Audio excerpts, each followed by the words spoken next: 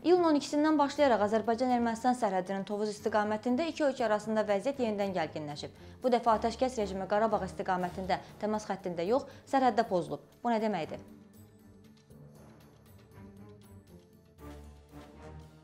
Hər iki ölkə iddia edir ki, atəşkəs rejimini qarşı tərəf pozub. Bu rəsmi məlumatlarda da belə qeyd olunur. Azərbaycan Müdafiə Nazirliyi bildirir ki, hər iki tərəf itki verib. Qarşı tərəf isə ancaq Azərbaycan itki verdiyini deyir.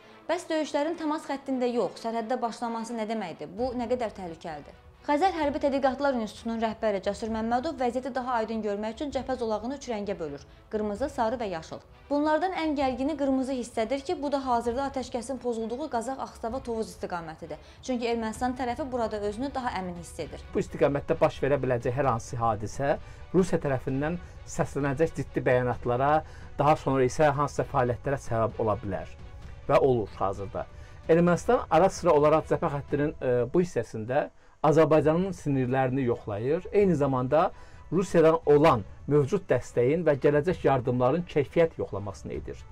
Ermənistan tərəfi üçün cəbhə xəttinin bu istiqaməti çox vacib xarakter daşıyır və rəsmi Yerevanın cəbhə xəttinin məhz bu hissəsində Rusiyanın dəstəyi ilə həyata keçirəcəyi təxribat rəsmi Bakının Dağlıq Qarabağla bağlı yürütdüyü siyasətdə dəyişikliklər etmək və hansısa yeni qərarlar qəbul etmək məcburiyyətinə sala bilər. Ekspertin bölgüsünə görə cəbhə xəttinin yaşıl hissəsi işğal altında olan Dağlıq Qarabağ və ətraf rayonların ərazisində tərəflər arasındakı təmas xəttidir. Bu xəttin hər iki tərəfində xeyli sayda silahlı qüvvə və hərbi texnika cəmlənib. Azərbaycanın işğal altında olan rayonlarını əhatə edən təmas xətti Azərbaycan üçün həm hücum, həm də müdafiə xəttidir.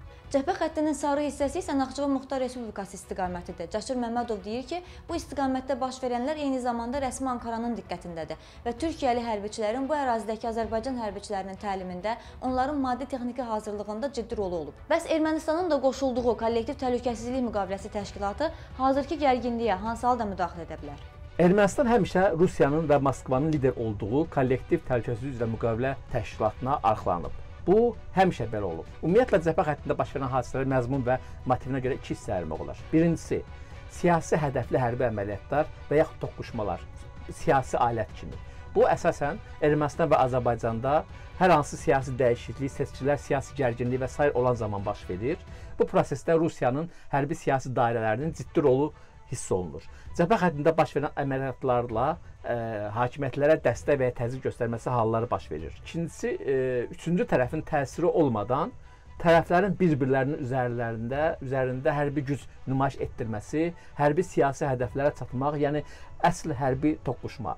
Son illərdə tərəflər arasında baş verən hərbi toqquşmalar əsas etibarilə siyasi alət xarakteri daşıyıb, yəni birinciyə aiddir və əsasən üçüncü oyunçunun Rusiyanın təsiri altında e, baş tutub. Ermənistan tərəfi həm də onu iddia edir ki, ölkənin dövlət sərhəddi UAZ avtomobili ilə pozulub. Cəsur Məmmədov isə düşünür ki, bu iddia əsaslandırılmamış qalıb və Azərbaycan sənədlərlə sübut etməyə çalışmalıdır ki, təxribat qarşı tərəfdən olub. Ekspert həm də hesab edir ki, Prezident İlham Əliyevin münaqişə ilə bağlı son açıqlamaları ictimaiyyəti düşündürən suallara cavab deyil, əvvəlcədən hazırlanmış tezislər əhatə edir.